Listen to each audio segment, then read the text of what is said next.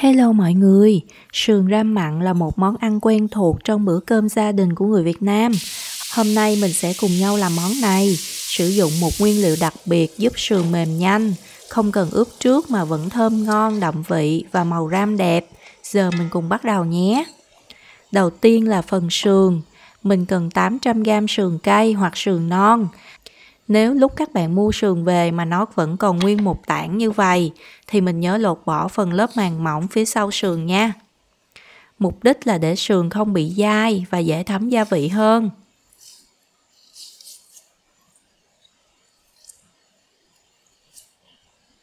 Sau đó mình đi cắt sườn thành từng khúc vừa ăn.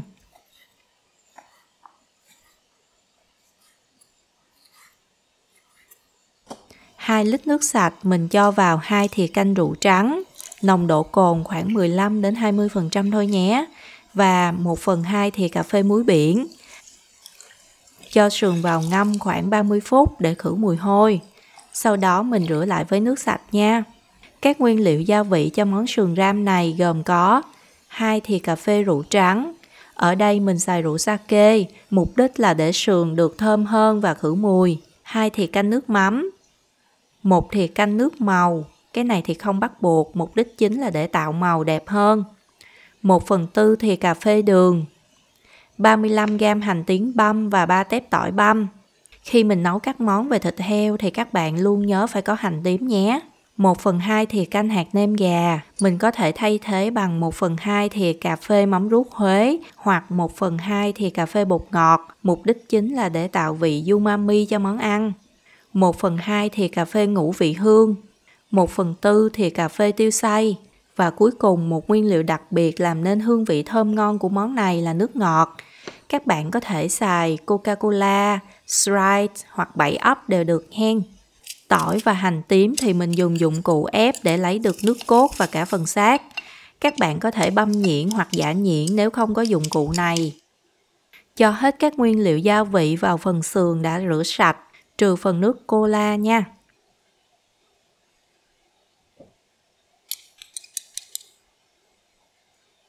Trộn đều. Mình không cần ướp nha, cứ vậy đi ram luôn, thịt sẽ vẫn thơm ngon và đậm vị. Chảo nóng lửa lớn, mình cho vào khoảng 1 đến 2 thìa canh dầu ăn.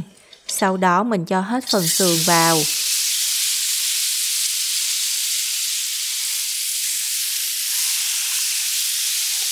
Mình chiên sơ sườn khoảng 4 phút, mục đích là để gia vị bên ngoài sườn nó caramel lại, bám vào phần ngoài của sườn.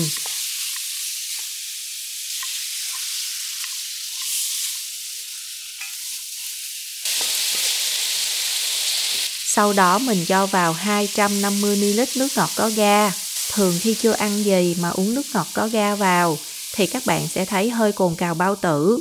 Lý do là do nước ngọt có ga có tính axit cao, cũng chính vì vậy mà nó giúp làm mềm thịt nhanh hơn. Ngoài ra trong nước ngọt có ga còn có nhiều đường, khi đun sôi đến khi cạn nước, đường nó sẽ caramel lại giúp cho món ăn có màu đẹp hơn. Nếu thích video thì hãy nhấn thích, chia sẻ và theo dõi kênh của mình nha. Và cho thêm vào 100ml nước lọc hoặc nước dừa. Tiếp theo mình hạ lửa vừa. Đậy nắp lại để hầm khoảng 15 đến 20 phút. Sau 20 phút rồi thì mình mở nắp ra, đảo đều sườn cho đến khi cạn hết nước là xong.